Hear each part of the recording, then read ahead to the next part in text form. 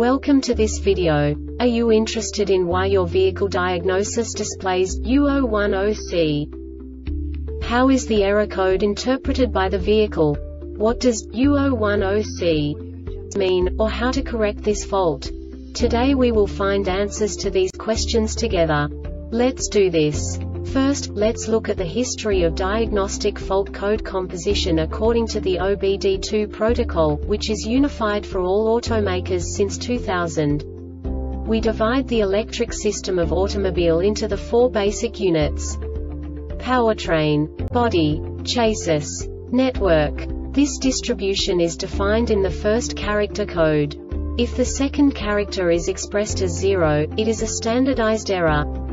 In the case of numbers 1, 2, 3 it is a more prestigious expression of the car-specific error. The third character specifies a subset of errors. The distribution shown is valid only for the standardized DTC code. Only the last two characters define the specific fault of the group. Let's not forget that such a division is valid only if the other character code is expressed by the number 0. Our website airbagreset.sk produces useful videos for you. You do not have to go through the OBD2 protocol anymore to know how to troubleshoot any car breakdown. You will find all the diagnostic codes that can be diagnosed in a Jeep vehicles. Also many other useful things. The following demonstration will help you look into the world of software for car control units. You unbelievably can move the video a bit further. The error code is split into two bytes consisting of 16 bits. One bit is the basic unit that each computer works with. The bit has two logical states. 0, low level, 1, high level. By combining the first two bits, the basic character of the error code is expressed. The next two bits again determine the second character. The last beat styles of the first byte define the third character of the code. The second byte is composed of a combination of 8 bits.